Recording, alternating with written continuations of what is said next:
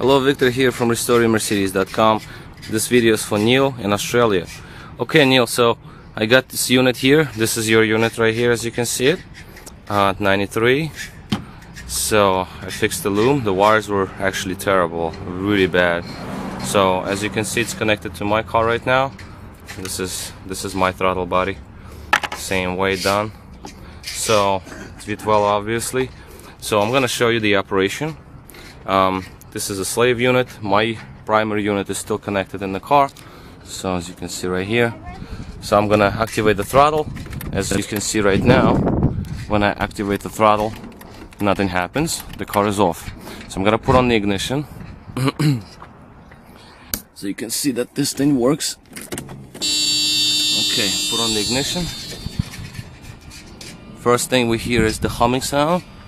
You can hear it. Nice and healthy. It's my unit humming there. So I'm gonna activate the throttle. You're gonna see that that unit is gonna open, as you can see.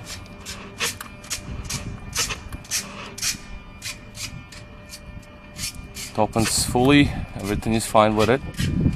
And uh, basically moving the linkage on the primary and the secondary opens. What I can also do is I can start the car to show you that there is no ASR light or anything like that.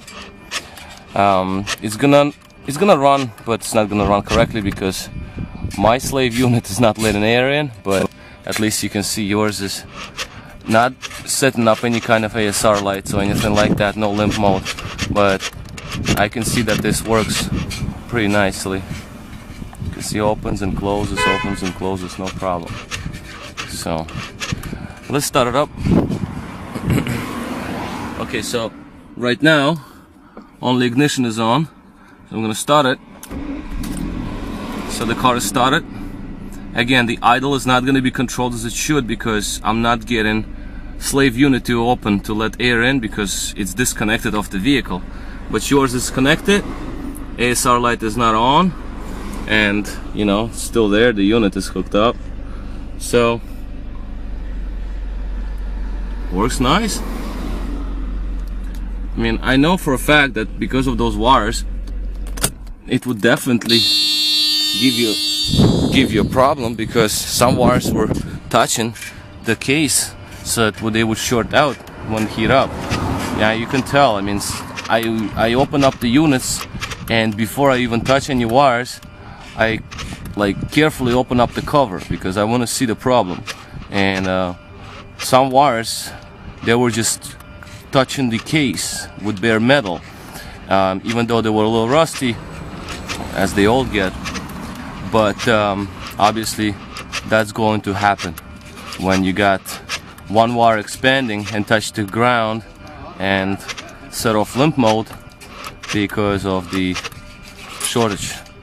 But as you can see works works great so it's ready to go back to you. I'm going to uh, send you this email with the video so you can see it. And um, pack it up and mail it out. So we'll be good to go. All right well it's ready to go. I'll talk to you in a little bit. Bye now